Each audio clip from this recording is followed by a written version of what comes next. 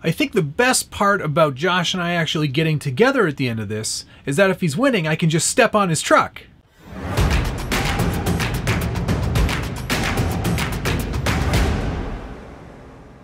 Welcome back to the Scale Builders Guild. Thanks again for watching. It's episode two of Monthly Mayhem Challenge Ultra Fusion Edition, and I like saying that Ultra Fusion. It just sounds so cool. If you've never watched Monthly Mayhem before, I invite you to go check out previous episodes. There is a lot of fun to be had going through the two previous challenges between Josh and I from Harley Designs. And this is going to be the best one yet, I guarantee it. Well, I can't guarantee it, but I know for a fact that this is probably the best one. If you're not familiar with Monthly Mayhem, it is a challenge between Josh and I where we try to take an existing thing and make it do another thing. And in the case of this Monthly Mayhem challenge, we're taking the Proline Pro Fusion SC short course truck and trying to make it into an Ultra 4 truck. And there are a lot of challenges there already, and I'm starting to find some of them as we're getting into the second episode of this challenge, the official week one of the Monthly Mayhem Challenge. In last week's vlog, I saw that Josh was going with a Jordan Pellegrino style Ultra 4 IFS truck, and it makes the most sense for this platform as this is IFS and uh, RFS, FIS instead of IFS. Anyway, I digest. We don't have time for all this. Mine is not accurate at all, but it's going to look very cool. And it's sort of weird for me to even say that. Josh taking the more scale approach? Doesn't sound right at all. Anyway, I am recreating the Dodge Power Wagon race tractor that has been all over the interwebs. And if you haven't seen it, I invite you to go check out some photos of it. Google it. It will be the first thing that comes up. But what it is, is a Dodge Power Wagon Proline body that I've cut up dramatically to make it fit on the Proline SC Fusion chassis. It's already starting to look a lot like the race tractor, and uh, that's mostly thanks to a lot of the tube work that I've already started. Uh, I've got a head start on Josh, I do believe, as he had a little vacation. In the time Josh spent to design up that cage, I'm almost done mine. without any computers or any computer aided design or even a ruler uh, I managed to come up with some of this tube work. Uh, it will be hard mounted to the aluminum plate chassis. Uh, that way it's got uh, some nice mounting points. I will also mount to the rear uh, shock tower so that's so it's all kind of buttoned up and tidy.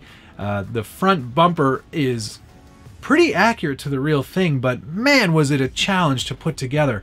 I don't have a lot of great brazing tools uh, or brazing skill for that matter. So this was a real challenge for me, and I'm really happy with the results. Uh, to finish up that front bumper, I will be brazing up an actual metal front bumper that will hard mount to the actual bumper mount, and that should square that away entirely and look quite clean. I'm going to have to do a really good sanding job on all of the joints. I don't have access to uh, a sandblasting unit or a media blasting kit, so uh, I'm going to have to sand it by hand and then do some etching primer to kind of clean it up as best I can.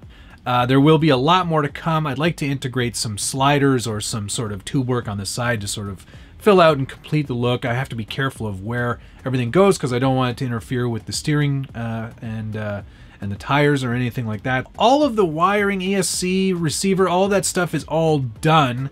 Uh, it's a it's in in my opinion a pretty clean wiring job. I'm not uh, by any stretch the cleanest wire guy in the whole world. I think the Ripper was sort of my best wiring job ever. Uh, this is probably second best. Uh, it's a very simple setup. RX4 from Tekin wired directly to the Pro 4 HD 2500 kV brushless sensored motor. I direct wired the servo, which is a Holmes SHV 500 V2 servo. What do you think of the wiring job? Did I do a decent job here or could you have done better?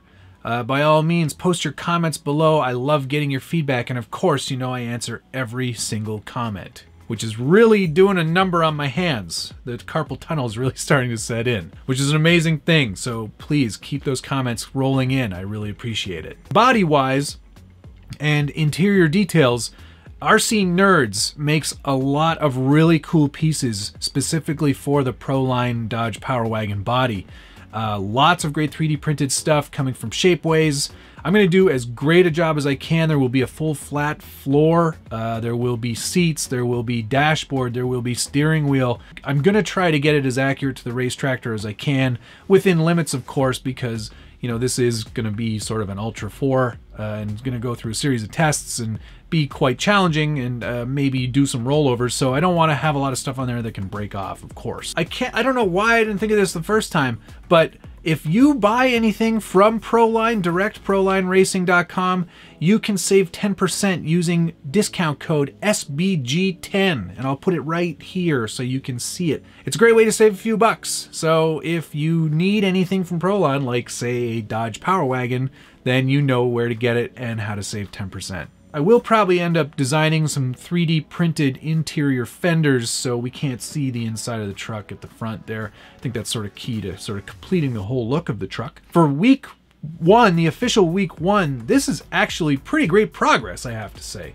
I feel like I'm way ahead of the game, which is good because I am going to be quite busy uh, moving into week two and three. So whatever I can get done in advance now, uh, is definitely good because uh, things are going to slow down dramatically in the next couple of days. What I really like about it is that it's sort of it is the race tractor, but it's almost like a caricature of the race tractor. It's not totally accurate. These tires are way too big, but you know what? I dig it. I think it's looking pretty cool. And I cannot wait to get all that RC Nerds Shapeways 3D printed stuff and really start to make this body come alive.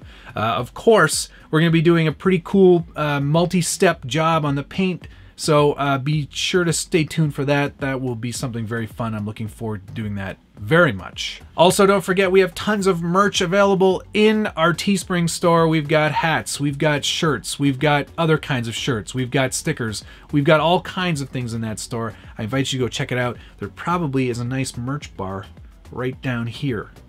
So check that out. Yeah, so that's it. This is a really short episode, and that's probably a good thing. Um, because uh, I got to get back to work on it. I'm going to need you to go ahead and come in tomorrow. So if you could be here around 9, that would be great. Okay?